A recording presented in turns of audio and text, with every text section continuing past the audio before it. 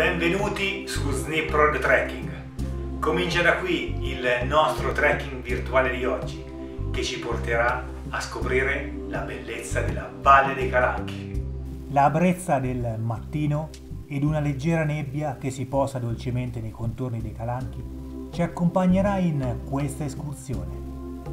Ci incamminiamo verso il fondovalle in direzione del Rio Torbido. Come potete osservare dalla stratificazione del terreno, sono presenti due formazioni distinte, di origine argillosa quella più antica, mentre lo strato superiore è costituito da materiale tufaceo e lavico. Come potete osservare l'azione erosiva degli agenti atmosferici, quali uvata da frane e smottamenti, creano questo meraviglioso palcoscenico naturalistico.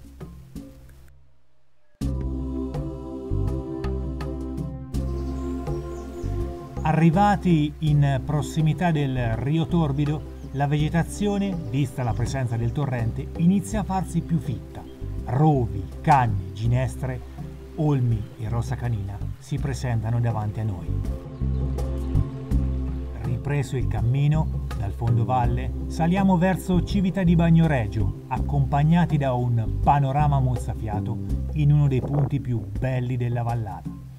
Qui si comprende la maestosità delle profonde incisioni create dall'erosione. Come vele che si tendono, i calanchi sembrano gonfiarsi al soffiar del vento in una danza che dura da milioni di anni. Sinuose e leggiadre, le stupende sculture create da madre natura si innalzano verso il cielo.